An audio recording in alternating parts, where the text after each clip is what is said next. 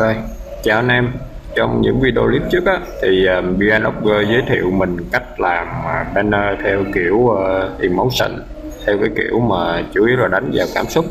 Còn uh, chủ đề hôm nay á, thì mình sẽ uh, hướng dẫn cách mình làm uh, mình cách mình thiết kế nhanh với cái thủ thuật mà flare, flare ánh sáng cái thủ thuật này nó sẽ giúp cho cái hình ảnh của mình nó cảm thấy nó nó sang chảnh hơn nó hào nhoáng hơn so với một cái hình uh, sử dụng cái cái chữ bình thường à, thì uh, bộ đồ nghề mà mình sử dụng á, là cái flare các bạn có thể search trên Google à, free free um, free flare BSD à, hoặc là Flare Photoshop. À, thì có có rất là nhiều nguồn. Họ cung cấp những cái flare ánh sáng như thế này. Đó. Cái thứ hai nữa là cái uh, xì tay cho chữ. Tay cho chữ là như thế này. Đó các bạn thấy không? Nếu mà mình sử dụng cái uh, không có sử dụng tay á, thì chữ nó nhìn rất là chán. Con này có cái chữ màu vàng lên nè. Đó con này chữ màu bạc này nhìn nó sang hơn rất là nhiều luôn. Đó, đó.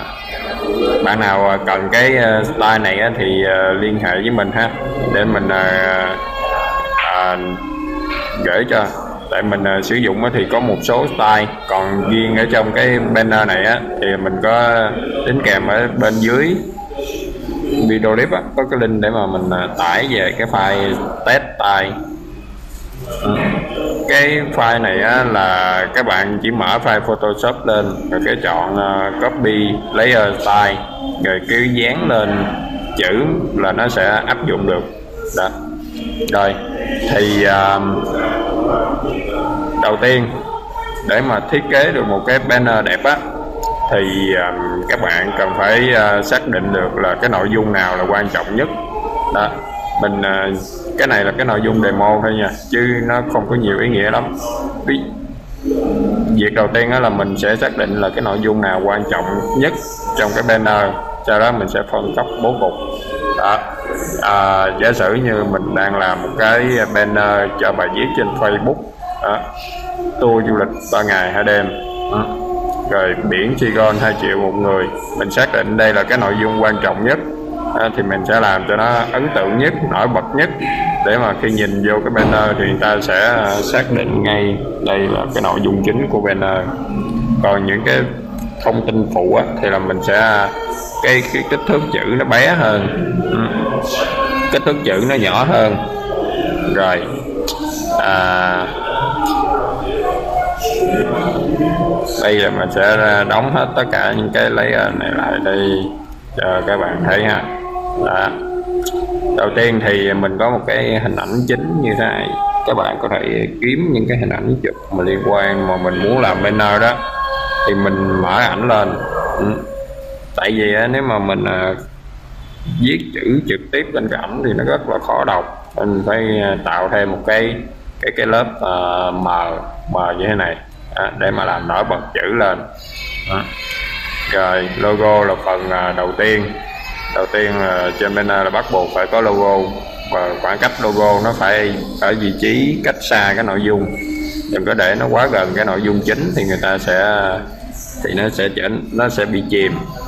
Đó. Rồi các bạn thấy không? Ngay chỗ này á, là mình trình bày cái bố cục của cái phần nội dung chính nè tôi lịch ba ngày hai đêm biển Saigon. Đó. Rồi tiếp tục. Đó, mình đã xong cái phần nội dung chính. Tại vì nhìn vô rồi thì cái phần này nó sẽ đập vô mắt người xem. Ngay ngay lập tức. À, bởi vì nó phải là cái phần mà đẹp nhất.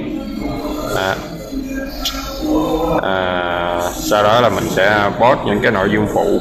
Các bạn lưu ý nhé nếu mà cái hình ảnh đó, nó nó nó nhiều màu sắc á thì mình phải tạo một cái hiệu ứng bóng đổ cho chữ để mà chữ nó nổi lên. Chứ nếu mà không có cái hiệu ứng bóng đổ á thì uh, chữ nó rất là khó đọc. Mình phải tạo cho nó hiệu ứng 3D lên để cho người ta đọc nhanh được. À, nhìn nó cũng chuyên nghiệp hơn. Rồi.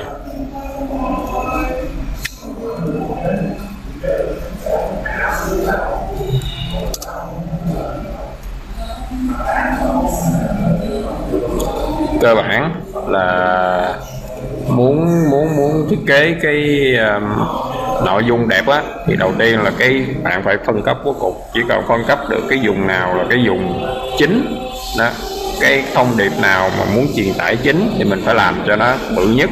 Rồi những cái gì cái, cái nội dung nào mà không có quan trọng á thì là mình sẽ để là cái kích thước chữ nó nhỏ thôi đó.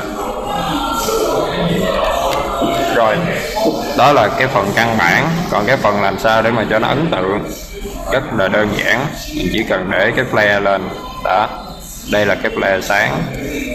Flare sáng thì mình thường là mình sẽ đặt ở dưới chân của chữ cái. À, mình đặt chân ở chữ cái.